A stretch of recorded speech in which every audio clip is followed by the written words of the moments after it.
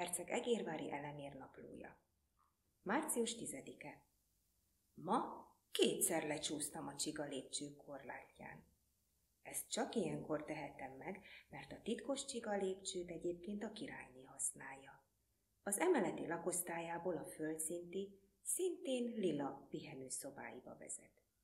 A lenti szobák előtt egy helyes kis faveranda áll, amit egy fafolyosó köt össze a lovardával. Így a királyné rossz időben is száraz lábbal teheti meg az utat a lakosztályától a kedvenc lovardájáig. A fafolyosó mellett egy ágaskodó ló fehér márványszobrában lehet gyönyörködni. Minka nagyitól tudom, hogy Grassalkovics gróf a kedvenc lovát simmelt mintáztatta meg. Kár, hogy a gróf engem nem ismerhetett, ezért nincs a parkban egérszobor. Április másodika. A kertészek ma egész nap a királyné kertjében dolgoztak. Ő felsége kedvenc ibolyáival és árvácskáival ültették tele. Már pedig ez csak is egyet jelenthet. A kertészek mindig előbb tudják meg, mint én, hogy jön a királyné. Megyek, kicsinosítom a lakosztályomat. Április 5-e. A kastély kupoláját két fáradt figura támasztja alulról, hogy le ne dőljön. A fejük tetején szoktam napozni, mivel a reggeli nap éppen odasüt, hogy pizsergősen cirógassa a bondámat. Ma délelőtt is épp ott gondolkodtam, amikor a vasútállomás felől érkező fogatok zaja ébresztett fel. Jön a király, meg a királyné! A kocsiukat most is a négy fehér ló húzta. Nagyon izgatott lettem, kicsit lejjebb is másztam, hogy jobban lássam őket. A fogatok felhajtottak a kastély elé, majd begördültek a nagykapun a díszegyenruhában feszítő kapus mellett. Ami ezután következett, azt fogalmazhatnám úgy is, hogy már régóta szerettem volna közelebbről megtekinteni a személyzet ezüst sújtással díszített, búzavirág kék egyenruháját és fehér rókaprémes sapkáját. De az igazság az, hogy lezuhantam. Épp a kapus imént említett rókaprémes sapkájának közepére. Lajos a sapkájához kapott, és gyanakodva nézett a díszerkék korlátján tollászkodó örvös galambokra. Ezt a fél másodpercet kihasználva sikerült észrevétlenül meglépnem, és a királyné kertje felé távoznom. Április hatodika.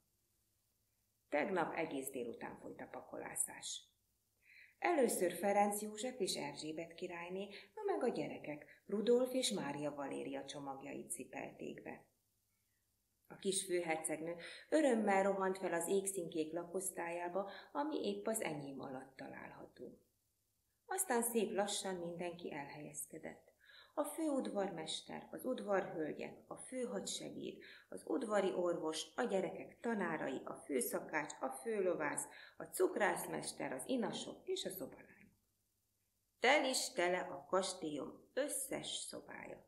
Mind a 136. Április 8-a. Ma meglátogatott gróf Gorgonzola Géza, aki a Mácsai vadászkastélyunkban lakik. A vadászatról visszatérő kocsik egyikére szállt fel, és elmondása szerint végig a király elemózsiás táskája mögött utazott. Sült hús és császárzsömnye illatban. Hmm. Beszámoltam neki a legfontosabb eseményekről, főleg Báró Kastélyházi Sándor nyugtalanító ideköltözéséről. Fondorlatos terveket szőttünk arra, hogy a bárót hogyan távolítsuk el az udvarból. Állítólag veszélyes lehet ránk nézve. A lehetőségek között felmerült a véletlen baleset és a kiházasítás is. A legjobb megoldásnak mégis az látszik, és ez Gézának az elemózsiás táskáról jutott eszébe, hogy a királyi udvar távozása előtt füstölt kolbásszal becsalogatjuk őt egy kalapdobozba, ami aztán a rengeteg podgyászal együtt Bécsben, vagy még jobb esetben Korfu szigetén köt majd ki. Egy kis levegőváltozás csak jót tenne Sándornak, mondta mosolyogva Géza, és erről egy könnyű uzsonna mellett, parasztsonka némi gyümölcsel, sokáig ábrádoztunk. Április 10-e. Hát borzongató dolog, dolog történt ma reggel. A díszlépcsőházban összefutottam báró kastélyházi Sándorral. Az ijegységtől először szólni sem tudtam, de aztán bevetettem az erre a célra betanult mondatomat.